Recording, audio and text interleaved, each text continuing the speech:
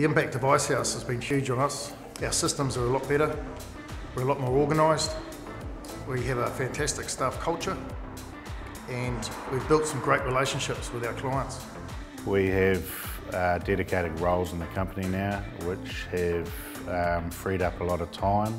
We now have time to report monthly on the outcomes of those earlier weeks in the month and do the necessary um, changes.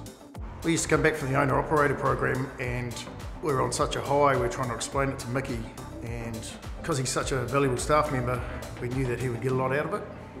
Since attending the Effective Leadership course, I've become more open-minded on the different ways of leadership, how to get the best out of the guys with their skills, their capabilities, more focused on my roles within the company, and it has given me a lot of confidence with clients and other people in the community that we have to work with. I think anyone wanting to be a leader in their in their business should give the Effective Leadership course a go. There's so much to learn and nothing to lose, so just give it a go.